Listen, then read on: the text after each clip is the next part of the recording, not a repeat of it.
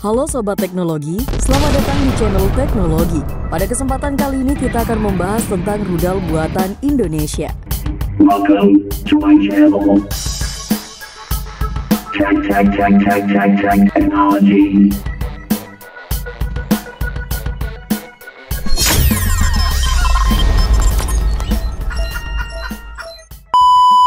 Sebagaimana kita ketahui, Indonesia merupakan negara yang memiliki industri pertahanan yang terus berkembang. Salah satu buktinya adalah pengembangan rudal-rudal buatan Indonesia. Dan berikut adalah sejumlah rudal buatan Indonesia. Rudal Kodok Rudal Kodok adalah rudal permukaan ke darat yang dikembangkan oleh Pusat Riset Sirnov Universitas Ahmad Dahlan bekerja sama dengan Dislit Bangat. Rudal ini memiliki jangkauan hingga 2 km dan dapat membawa hulu ledak seberat 10 kg. Rudal Kodok telah diuji tembak sebanyak empat kali dan berhasil mengenai sasarannya. Rudal kodok memiliki panjang 1,6 meter dan diameter 0,2 meter. Rudal ini menggunakan sistem pemandu inframerah atau infrared guided system untuk mencari sasaran. Rudal ini memiliki hulu ledak peledak fragmentasi yang dapat menghancurkan sasaran-sasaran darat seperti kendaraan tempur, tank, dan juga bunker. Rudal kodok dapat dioperasikan oleh satu orang saja. Rudal ini dapat diluncurkan dari berbagai posisi termasuk dari darat, laut, dan udara. Rudal ini memiliki daya hancur yang cukup cukup besar dan mudah dioperasikan, sehingga menjadikannya sebagai senjata yang ampuh untuk pertahanan negara. Berikut adalah spesifikasi teknis rudal kodok. Rudal kodok merupakan jenis rudal permukaan ke darat yang berkaliber 70 mm dengan panjang 1,6 meter dan diameter 0,2 meter yang memiliki jangkauan sebanyak 2 km dan hulu ledak yakni peledak fragmentasi seberat 10 kg. Sementara untuk sistem pemandunya menggunakan inframerah dan hanya bisa diluncurkan oleh satu orang. Rudal kodok merupakan salah satu rudal buatan Indonesia yang memiliki potensi besar untuk menjadi andalan TNI dalam pertahanan negara. Rudal ini memiliki daya hancur yang cukup besar dan mudah dioperasikan, sehingga menjadikannya sebagai senjata yang ampuh untuk menghadapi berbagai ancaman.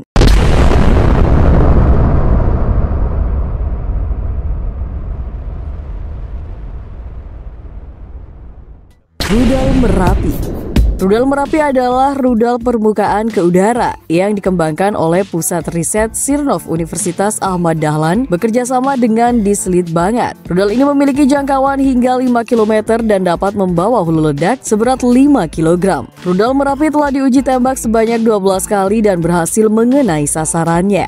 Rudal Merapi sendiri memiliki panjang 1,4 meter dan diameter 0,18 meter. Rudal ini menggunakan sistem pemandu inframerah untuk mencari sasarannya. Rudal ini memiliki hulu ledak peledak fragmentasi yang dapat menghancurkan sasaran-sasaran udara, seperti pesawat terbang dan juga helikopter. Rudal Merapi dapat dioperasikan oleh satu orang saja. Rudal ini dapat diluncurkan dari berbagai posisi, termasuk dari darat dan juga laut. Rudal ini memiliki daya hancur yang cukup besar dan mudah dioperasikan, sehingga menjadikannya sebagai senjata yang ampuh untuk pertahanan negara. Berikut adalah spesifikasi teknis dari rudal Merapi.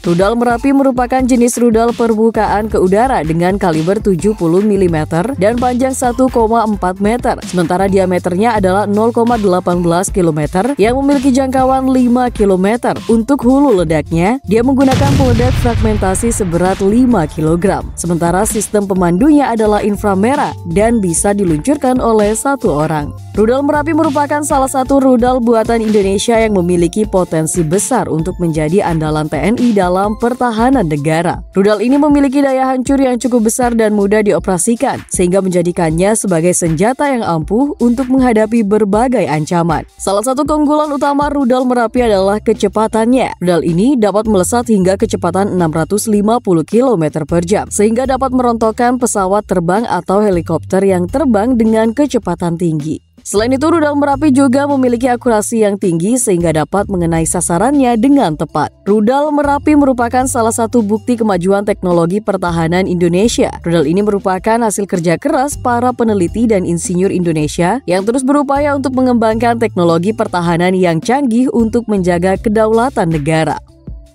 Rudal Starstreak Rudal Starstreak adalah rudal permukaan ke udara portable yang dikembangkan oleh Thales Group Inggris. Indonesia telah melakukan lisensi produksi rudal ini untuk diproduksi di dalam negeri oleh PT Land Industri. Rudal Starstreak memiliki jangkauan hingga 6 km dan dapat membawa hulu ledak seberat 1,2 kg. Rudal Starstreak sendiri memiliki panjang 1,5 meter dan diameter 0,1 meter. Rudal ini menggunakan sistem pemandu laser untuk mencari sasarannya. Rudal ini memiliki tiga submunisi yang diluncurkan secara bersamaan. Submunisi ini memiliki kecepatan hingga 4 Mach dan dapat mengenai sasaran dengan akurasi tinggi. Rudal Starstreak dapat dioperasikan oleh satu orang saja. Rudal ini dapat diluncurkan dari berbagai posisi, termasuk dari darat dan juga laut. Rudal ini memiliki daya hancur yang cukup besar dan mudah dioperasikan sehingga menjadikannya sebagai senjata yang ampuh untuk pertahanan negara.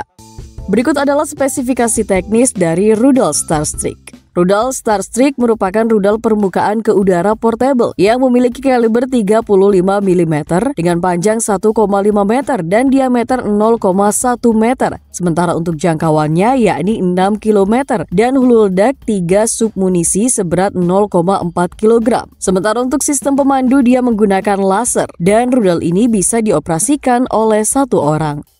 Rudal Starstreak sendiri merupakan salah satu rudal buatan Indonesia yang memiliki potensi besar untuk menjadi andalan TNI dalam pertahanan negara. Rudal ini memiliki daya hancur yang cukup besar dan mudah dioperasikan, sehingga menjadikannya sebagai senjata yang ampuh untuk menghadapi berbagai ancaman. Salah satu keunggulan utama rudal Starstreak adalah kecepatannya. Ketiga submunisi rudal ini dapat melesat hingga kecepatan 4 Mach, sehingga dapat merontokkan pesawat terbang atau helikopter yang terbang dengan kecepatan tinggi. Selain itu, rudal Starstreak juga memiliki akurasi yang tinggi sehingga dapat mengenai sasarannya dengan tepat.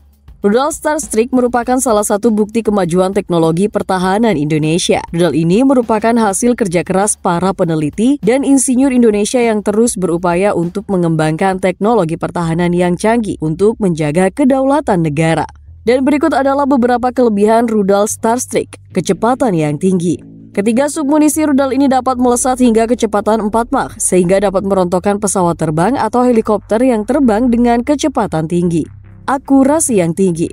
Rudal Starstreak memiliki akurasi yang tinggi sehingga dapat mengenai sasarannya dengan mudah dan tepat, mudah dioperasikan.